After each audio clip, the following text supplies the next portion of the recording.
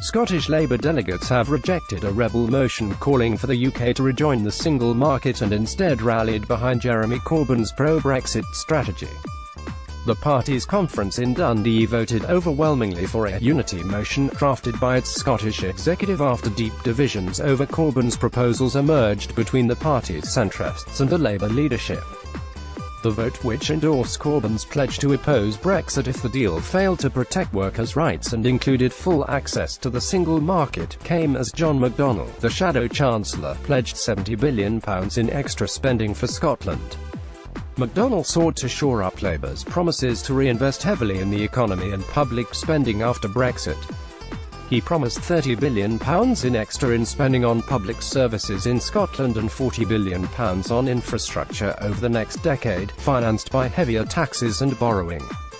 Giving the closing conference speech, McDonnell hinted at the Labour leadership's central arguments against the EU both north and south of the border, lives have been destroyed and millions left in despair thanks to the failed economic dogma of neoliberalism and austerity. Austerity was always a political choice, not an economic necessity, he said.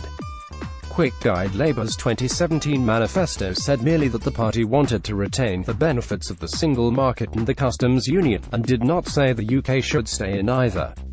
In recent months, however, a series of senior Labour figures have argued for the UK to be in a customs union post-Brexit. Labour says the latter is the existing arrangement, which ends when we leave the EU, and that a union could retain the bulk of the benefits without overly tying the UK to rules made in Brussels. Critics, mainly in the government, argue that this could be seen as Labour's own version of an unrealistic cake-and-eat-it approach. Corbyn has never seemed that keen on the customs union, but he has faced pressure both from members of his team, the shadow Brexit secretary. Keir Starmer has played a key role, and the fact that the majority of Labour members support customs union and single market membership. There is also the incentive that Labour could defeat the government in the Commons by voting with Tory rebels on an amendment to back the customs union. Thank you for your feedback. Before McDonnell spoke there were repeated clashes over Corbyn's decision to reject any formal continued membership of the single market to the customs union, on a similar footing to Norway. In the run-up to Sunday's vote, officials close to Corbyn and the Scottish Labour leader, Richard Leonard, had accused the pro-EU grouping of using the issue to mount a proxy war by Labour's moderates against the party's leadership, a charge they deny. The spokeswoman for Scottish Labour's single market campaign is Kezia Dugdale, the former Scottish Labour leader who had opposed Corbyn's leadership but and who had backed Leonard's rival Anas Sarwar last year. One pro-EU speaker, Donald Mackinnon from the Western Isles, said leaving the single market would be catastrophic for the Hebridean economy by increasing the costs of its exports of products such as Harris tweed and by removing EU subsidies. John McDonnell, the Shadow Chancellor, promised the Scottish Labour Conference an extra £70 billion in spending for Scotland. Photograph Aaron Chown, PA to applause from some delegates. Mackinnon accused party leaders of perpetuating myths that the EU's rules prevented the UK from renationalising industries or using state aid to invest in others.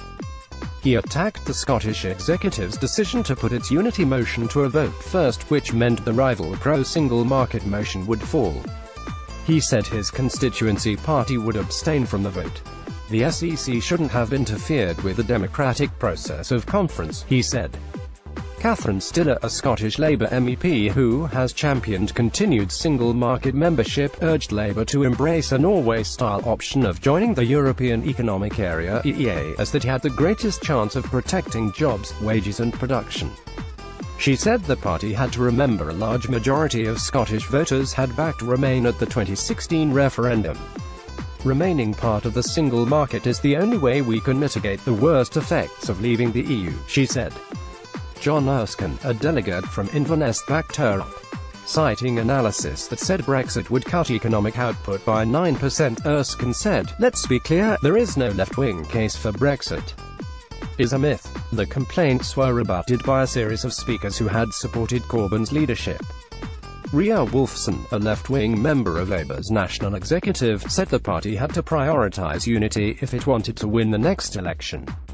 Echoing several other speakers, Wolfson insisted the six tests laid out by Keir Starmer, Labour's shadow Brexit secretary, on protecting jobs, the economy and a tariff-free deal, protected Labour's values.